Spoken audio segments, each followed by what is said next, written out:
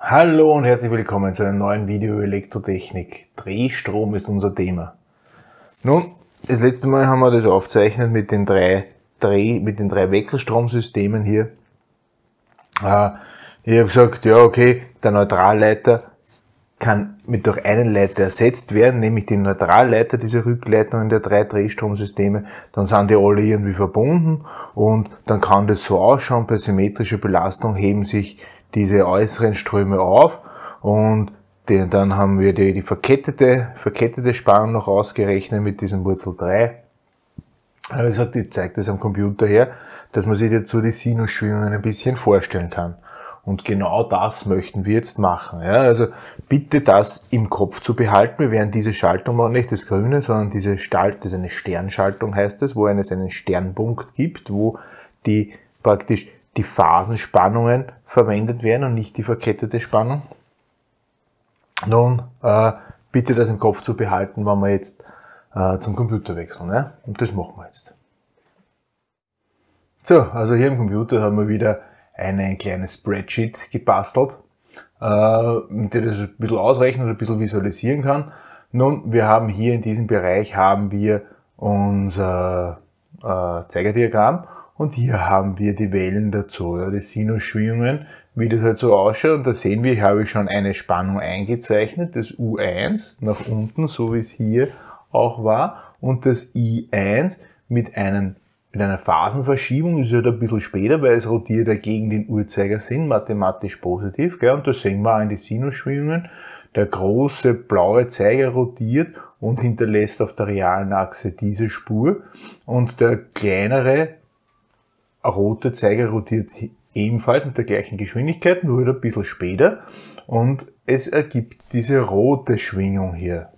Okay? Äh, und wir sehen, es beginnt schon im Negativen, das ist so dieser negative Bereich auf der realen Achse.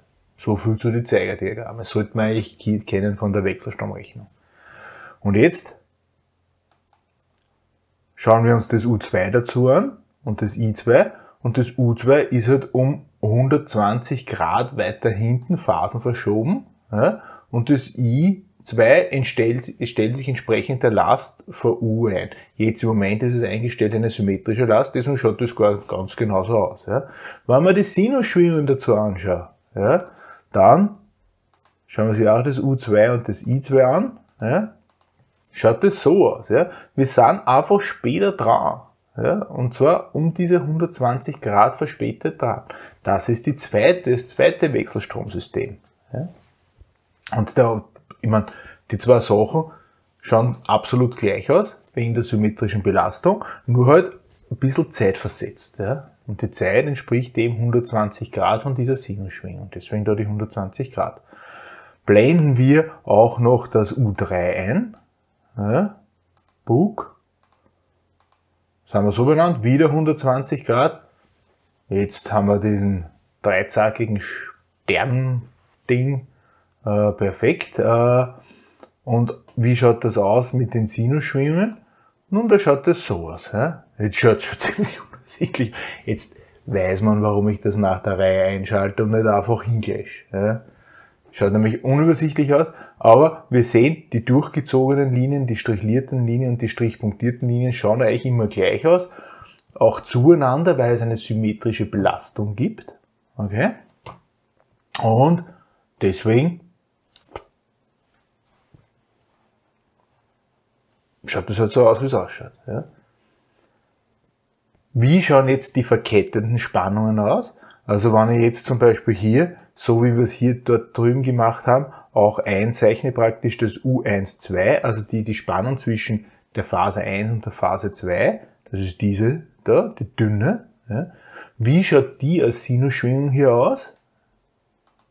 Wenn wir uns hier die Sinusschwingung anschauen, dann sehen wir, aha, ist aber ganz schön groß geworden. Ja? Das ist nämlich, weil, weil ja immer U1 und U2 voneinander abgezogen wird. Okay? Auch hier Daten auswählen, U23, U31, Bug, schaut so aus einfach. Ja? Also das ergibt wieder Sinusschwingung, nur größer. Ja? In, im, im, im, im Zeigediagramm haben wir es halt ebenfalls da diese, diese Dings dazwischen. Ja. Eigentlich gehören die auch in den Nullpunkt geschoben hier, ja, Bug, aber hier, hier oben, wir haben das ja hier einmal gemacht. Gell. Und dann habe ich auch erwähnt, wenn man es gleich da zeichnet, haben wir praktisch das gleiche. Der, der, der Startpunkt der, der Spannung ist natürlich da im Nullpunkt. Gell. Gut. Ja, blenden wir die wieder aus, würde ich, würde ich vorschlagen. Das U1, weil so viele Linien brauchen wir jetzt doch nicht wirklich, ja, macht es dann doch etwas unübersichtlich. Ja, also blenden wir die verketteten Spannungen aus, ja, zeigen uns aber den Neutralleiterstrom an. Da hat sich jetzt nicht viel getan. Ja, da hat sich nicht viel getan, weil der Neutralleiterstrom in diesem Fall mit der symmetrischen Belastung ja null ist. Da sehen wir, Bug da, die, die Schwingung des Neutralleiterstroms, nix. Ja. Und jetzt möchte ich zeigen, was passiert, wenn wir das asymmetrisch belasten. Also wir haben eine Dreieckschaltung, asymmetrische Belastung, Sternpunkt angeschlossen heißt das, das werden wir noch hören.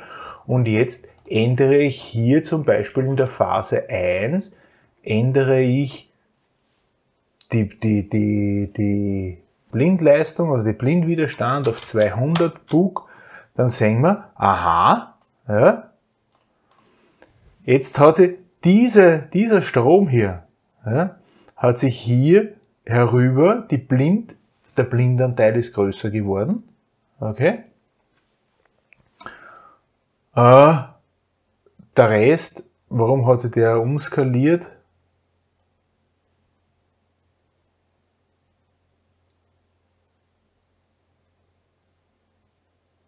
Da hat sich eigentlich nichts geändert. Das muss eine, das muss äh, äh, Autoscaling von dieser, von diesem Diagramm hier erfolgt sein. Ja? Aber die Sinusschwingungen sehen wir, sind gleich, die sind nach wie vor bei 1 Ampere in etwa äh, äh, Maximum und da ändert sich auch nichts, ändern wir das wieder zurück auf 100.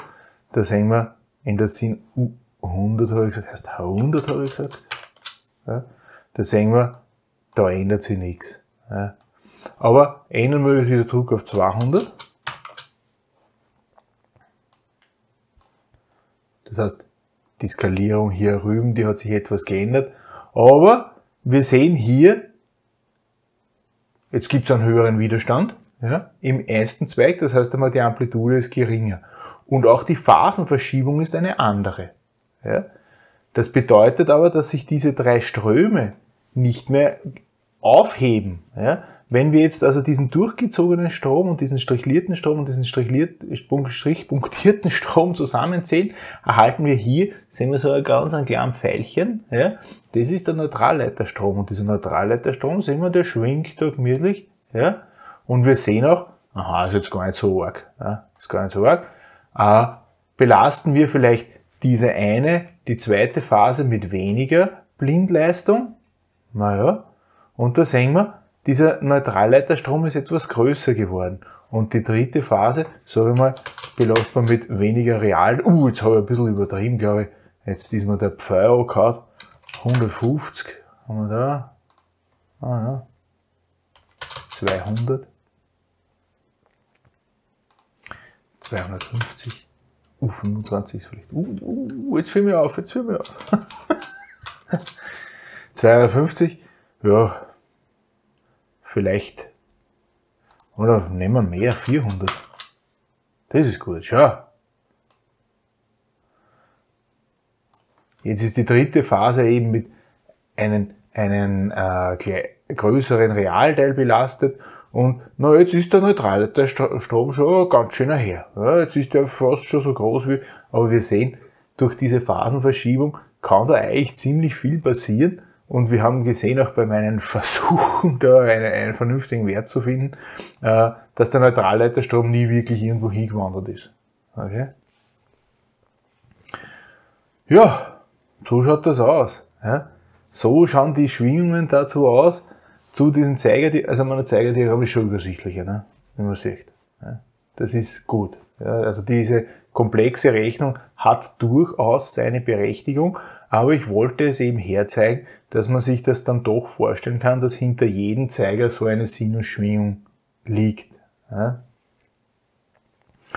Also, wie gesagt, ja, da haben wir I1, I2 und I3 und in Summe ergeben sie eben einen Neutralleiterstrom, wenn dieser, ähm, wenn dieser nicht äh, symmetrisch belastet. Bei der symmetrischen Belastung sind I1, I2 und I3 genau 120 Grad Phasenverschoben und gleich lang und deswegen löschen sie sich gegenseitig aus.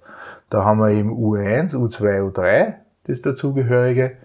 Ja, und das ergibt eben dann diese Schwingungen hier, ja, wenn man sich das auch wieder anschauen, hier haben wir U1 und das zugehörige I1, hier haben wir U2 und das zugehörige I2, hier haben wir U3 und das zugehörige I3 und wenn man diese Schwingungen I1, I2 und I3 alle zusammenzählt, in jedem Punkt, dann erhält man diese Schwingung. Ja?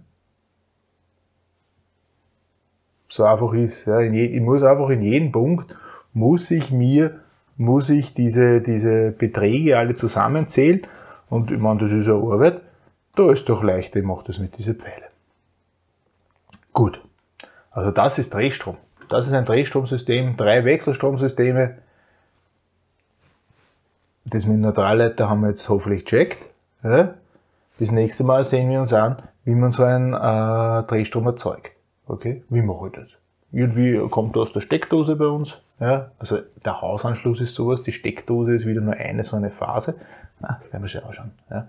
Aber die öffentliche Stromversorgung funktioniert so, also muss ja irgendwo erzeugt werden. Wie funktioniert das? Nächstes Video. Für dieses Mal herzlichen Dank für die Aufmerksamkeit. Auf Wiedersehen.